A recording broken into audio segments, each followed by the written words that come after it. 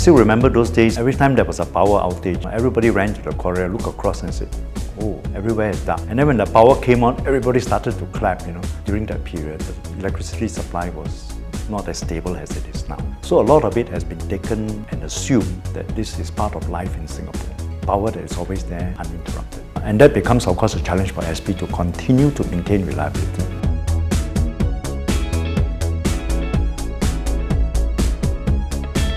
During construction, we deployed tunnel boring machines. It's challenging to tunnel in Singapore because even though we are a small island, but the soil beneath the surface uh, is wide-ranging from soil, sand to rock. It was good that we have measures in place which help us overcome problem and challenge uh, so that we can successfully complete the job.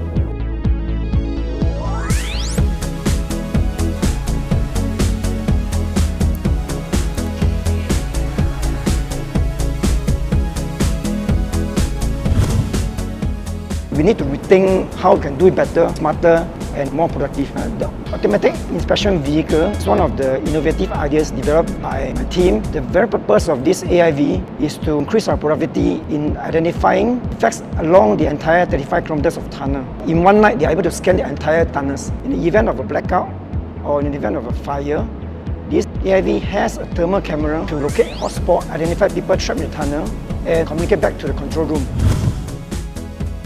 I think there's a certain joy and satisfaction that you have delivered this tunnel which will continue to be used by many generations going forward and to be assured that Singapore will continue to have reliable electricity supply uh, and that's what powering the nation means to us.